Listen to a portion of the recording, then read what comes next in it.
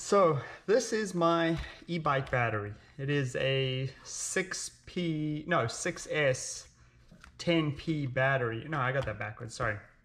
It's 10S 6P for a, you know, 42 volt uh, battery. And um, I did a bad, I did a, I did a video on making this battery, um, and I did a video on the e-bike conversion. But you know, this is a soldered battery, and the battery works great. Um, but I ha I have broken a couple fuses with it bouncing around on the e-bike, and um, I have done a couple repairs on it. And I just think I'm probably going to convert it to a, you know, I'm probably going to spot weld this battery um, so I think that's what I'm going to do. I think I'm going to convert this to a spot welded battery from a soldered battery. Again, I do like soldered batteries for things like power walls. I like the fusing. Um, um, I think it's a safe way of building batteries, having those individual fuses. But on something like an e-bike where you have a higher power draw, probably spot welding is the way to go right now. Um, so I think I'm gonna I'm gonna do it, and I'm gonna use my you know my PCB spot welder for this. And um, you know I will um, um, I, you know I will eventually the the leads will get soldered to the nickel, but for all the battery connections I'm gonna use a spot welder. So let me open up this battery and uh, we'll inspect the fuses, just see what condition the battery is in, and then we'll go about the process of converting this. And I'll have to clean this solder off the cells, which will be a little bit of a pain, but um, I'll clean the cells, probably hit them with a Dremel just to smooth out the top, and then I'll use the spot welder and we'll do this thing.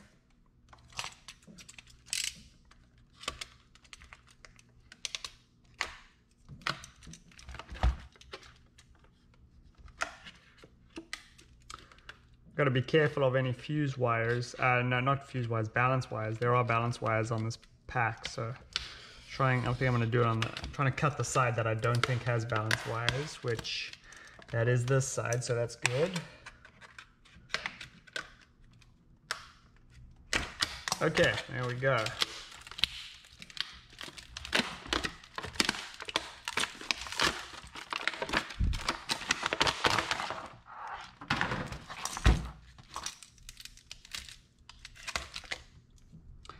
These are cardboard protectors for the fuse wires. Since you do have all these individual little fuses, you want a little bit of protection on something like an e-bike.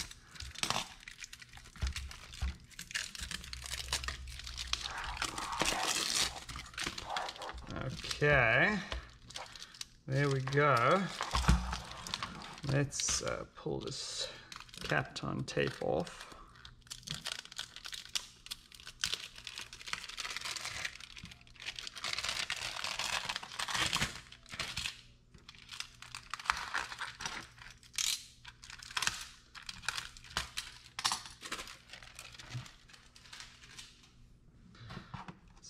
flip the battery over, check the other side.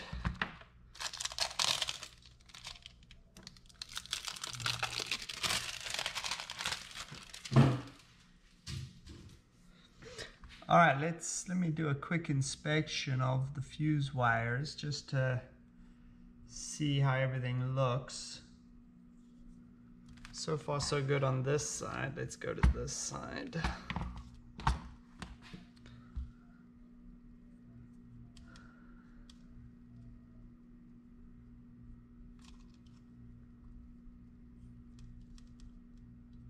Yep, fuse wires appear to be intact, so that's good. So this battery's fine, um, but I am going to do the conversion.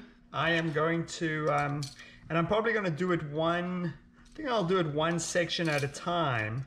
Um, the you know the reason is I, I you know I don't I want to keep track of all these balance wires and everything like that right now and and um, everything's already sort of laid out so I'll probably just convert this section, convert this section, convert this section. I can put the balance wires back right back on as I go.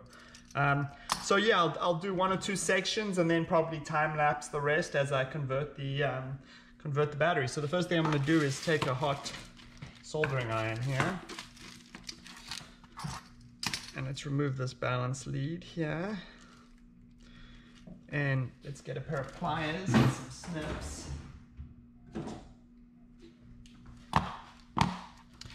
Let's remove the fuse wires.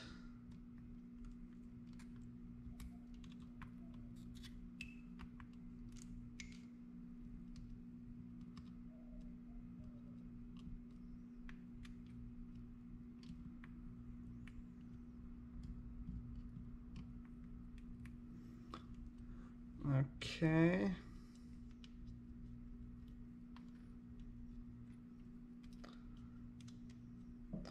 Okay, fuse wires are removed. And uh, yeah, I wonder if I should try solder suck some of the solder.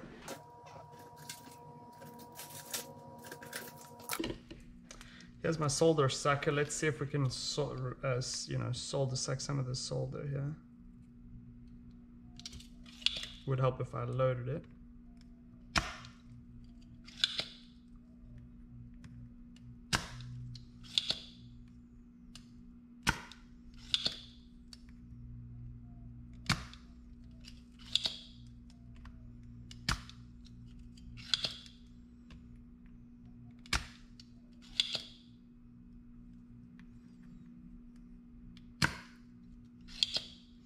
And it didn't do too much. All right, let me put down the soldering iron. What I am going to do is run a Dremel over the top of the... Um, I'm going to run a Dremel, so headphone users be warned. I am going to run a Dremel and clean these head the tops up a little bit.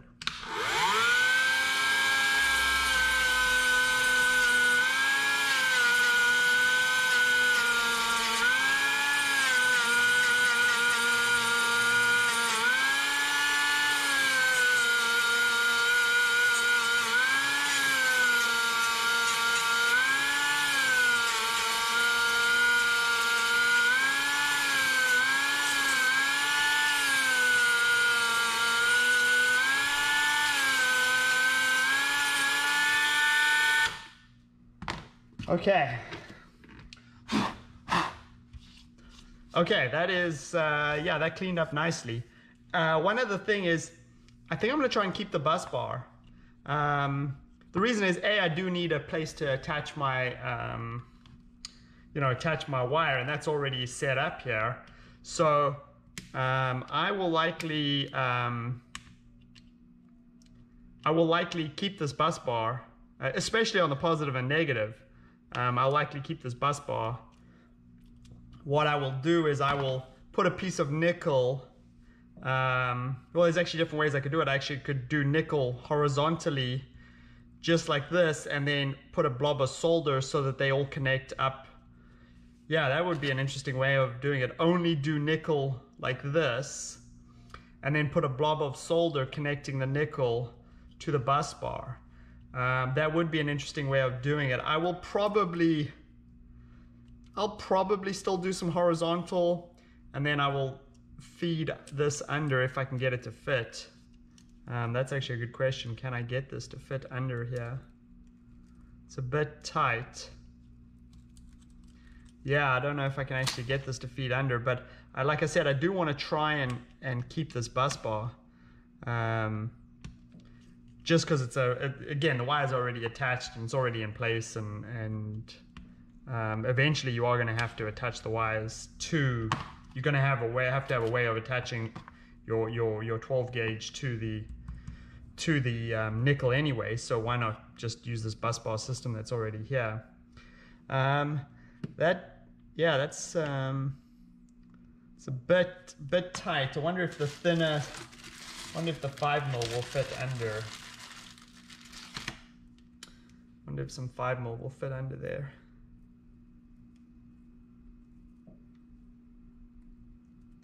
Let me get some 5 mil.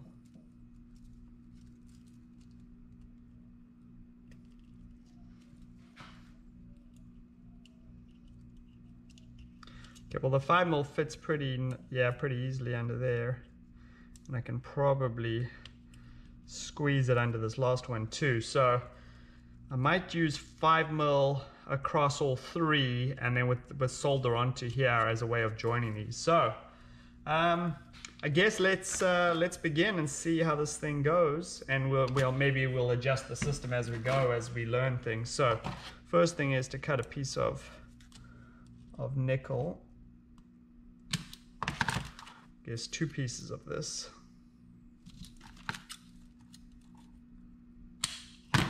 Okay. That'll work like that. That'll work like that. Let's turn on the spot welder.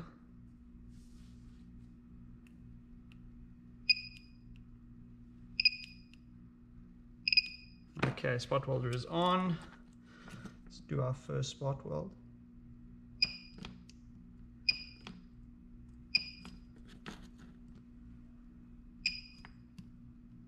Let's make sure that it is spot welding. That's pretty good.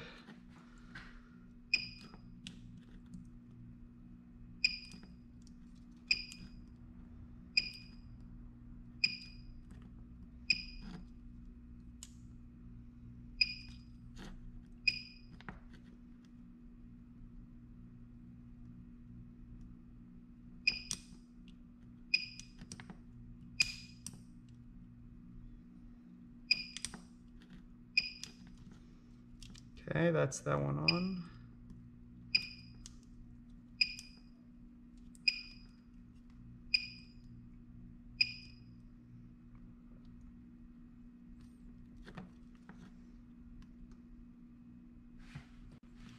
Hmm. Come on, spot welder, there we go.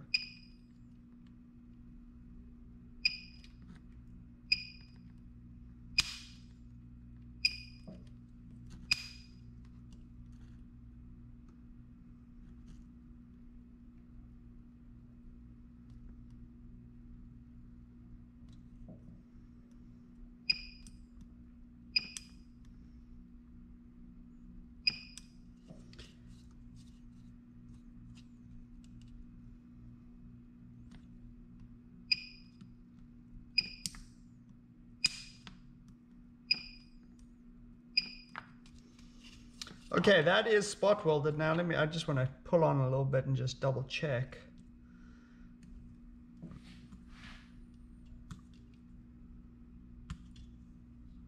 You know, getting this med getting the nickel tab up is always a trick. Let's get it.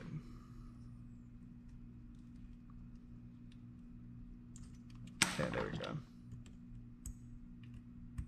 Oh yeah, that's that is spot welded. Okay, that's great. Now, I think we will use some of the thinner stuff to go underneath. Um,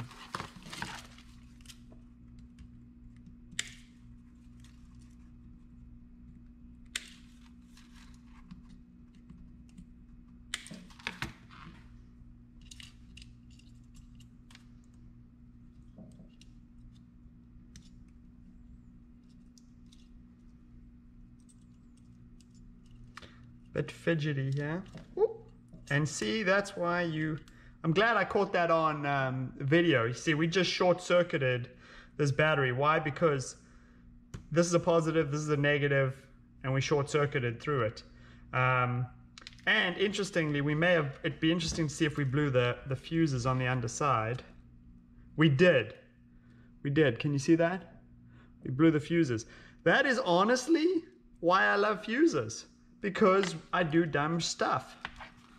Um, you know, I do make mistakes, and that is why I love fuses. That's why, you know, on a super big Powerwall battery, I I'm not convinced that I want to do spot welding just because, you know, I don't trust myself to not make dumb mistakes. So what we will do is we will stick some Kapton down on the area we're not working, and then we will continue to slide this nickel through like we're supposed to. Let me get this Dremel out of the way, get some of this other junk out of the way. Get myself some more room here. Okay.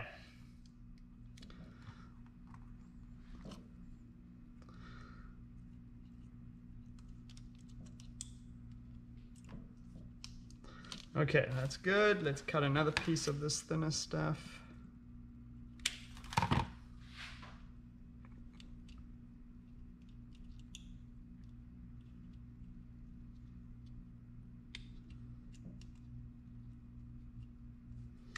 Bit of a tight squeeze here on this last one.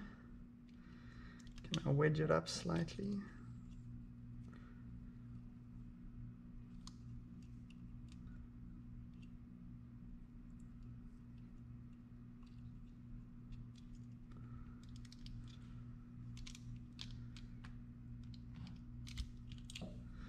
Oh, let me get a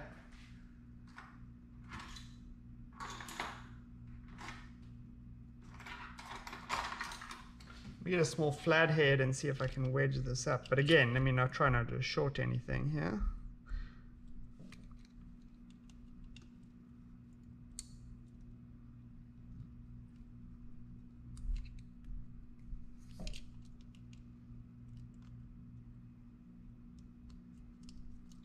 Okay, there we go.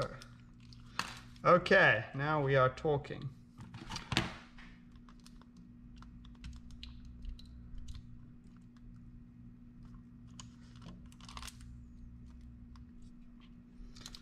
Okay, so we'll do it like that, and then I think I'll put a blob of solder um, to join that onto the, the bus bar. We'll see how that goes. But all right, let's make these spot welds.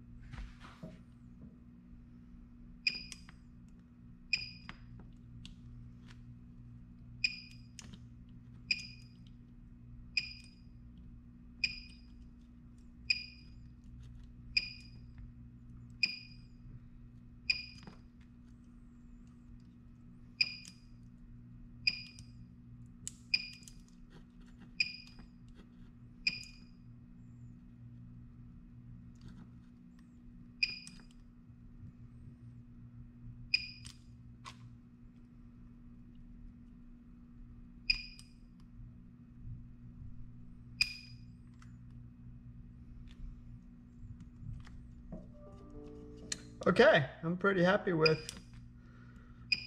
Okay, I am pretty happy with that um, crisscross pattern there. That is nicely spot welded. I don't think that that's coming off. Let me try and lift that with a nail. Nope, that is on there. Okay, great. Now let's see if we can get solder onto the um, onto the bus bar as a way to make the connection with the bus bar.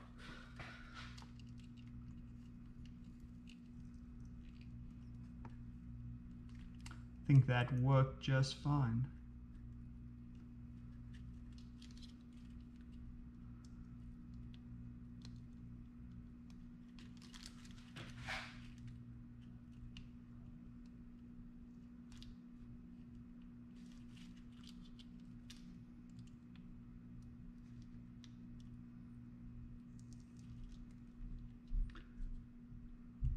Yep, I am happy with that. So let me lift that up so you can see.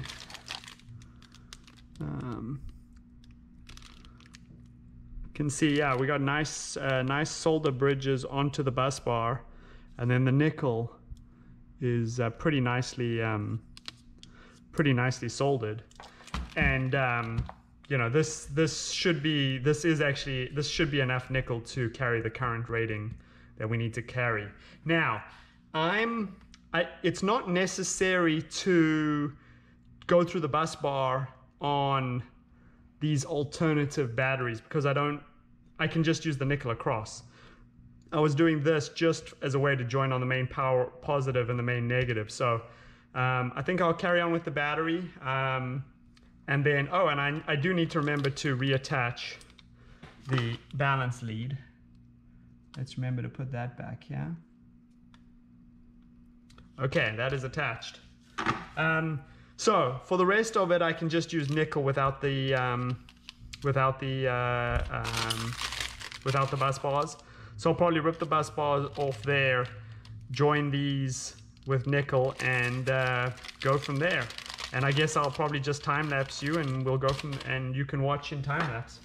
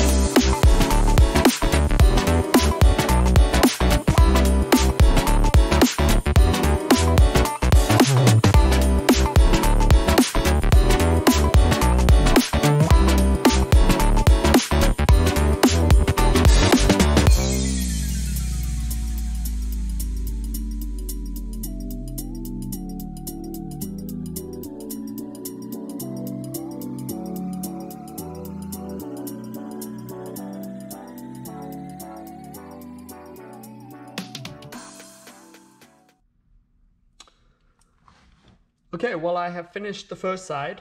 Um, everything is spot welded.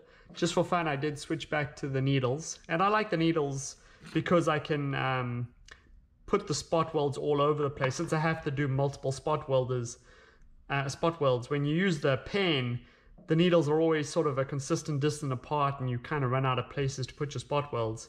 So I, in many ways, I, you know, the needles have its place as well. This gives me more flexibility, close, far, gives me some flexibility when I have to do multiple spot welds.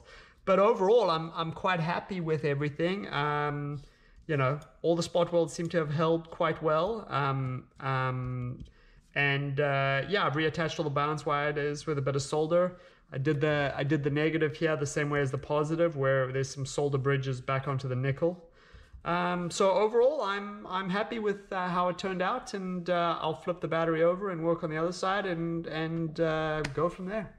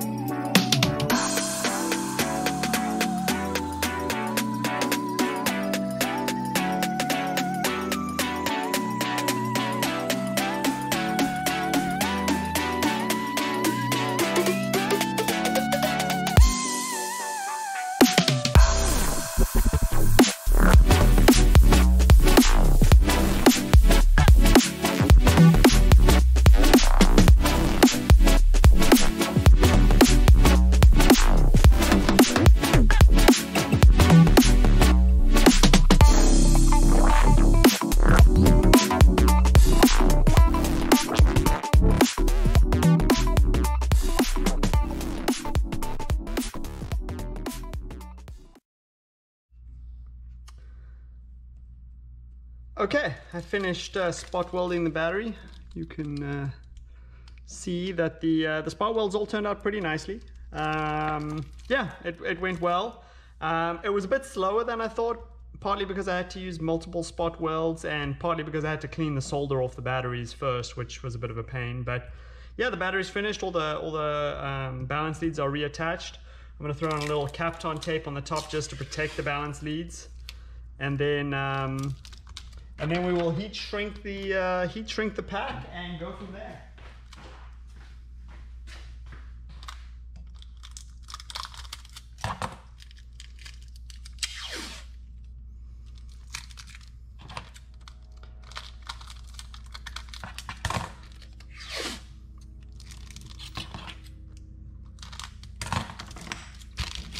Okay, so we have Kapton tape on both sides. This um, this thing is starting to starting to fall off a little bit. I'm gonna tape this on. I had hot glued it on, but it's it's coming off. So let me throw a little tape on before I do the heat shrink. Okay, that's heat shrink. I also will put a little piece of cardboard. Again, this is going in an e-bike and um, will be um, you know, will be shooken about a bit, so a little piece of cardboard will never hurt for some extra extra insulation.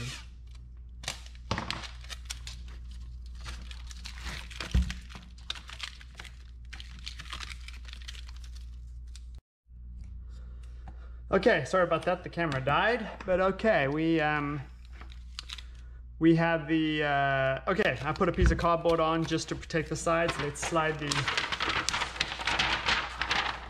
let's slide this into some heat shrink.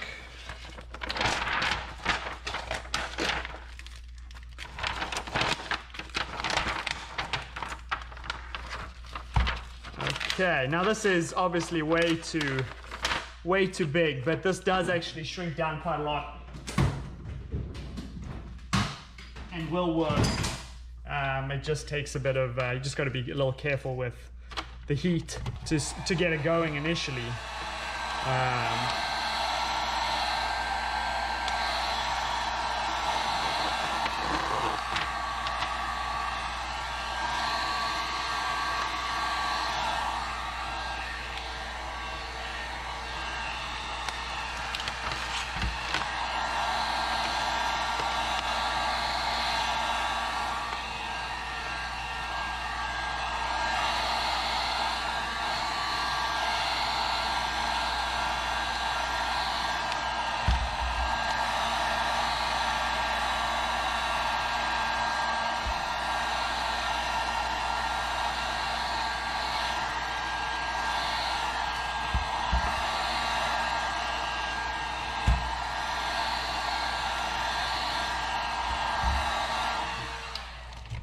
There you go.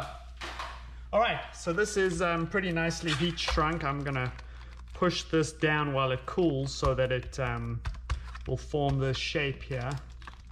It's almost cool. All right, there we go. Actually, that yeah, that turned out nicely. So the battery's assembled. Let's put a voltmeter on it. Should be at about 38 volts. That's um, I'd been doing a bit of bike riding before when I before I took decided to rebuild the pack. So I'd already taken some voltage out of the pack. Let's check the voltmeter here. Uh, 38 volts, perfect. Okay, so we're at 38 volts, exactly where we need to be. And um, yeah, I think the pack's finished. Um, I will give it a ride tomorrow and see how this see how this pack uh, works out.